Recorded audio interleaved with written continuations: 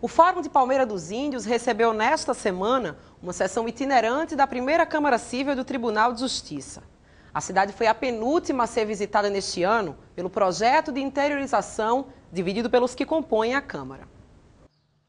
Levar o Tribunal de Justiça ao interior e aproximá-lo cada vez mais da sociedade. Com este objetivo, a primeira Câmara Civil do TJ realizou a sexta etapa do projeto de interiorização no município de Palmeira dos Índios. Os desembargadores que compõem o órgão participaram de reuniões com autoridades locais e ouviram as principais reivindicações da população. Foi discutido aqui vários pontos, né, a participação também do comando da polícia. Então isso é importante para a cidade, para que juntos essa parceria ela some, diminua a violência e a gente faça com que as pessoas tenham uma qualidade de vida melhor. Diretor do Fórum de Palmeira dos Índios, o juiz Sandro Augusto acredita que a presença do TJ no interior fortalece o objetivo de levar a justiça ao alcance de todos.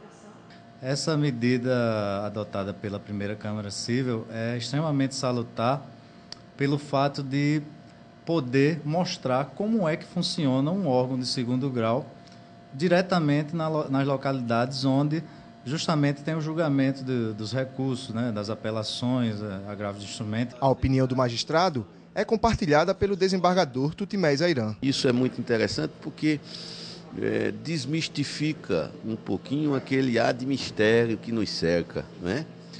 Em segundo lugar, nós nos aproximamos dos advogados e das partes e da própria sociedade. A sessão itinerante julgou cerca de 25 processos no Fórum da cidade.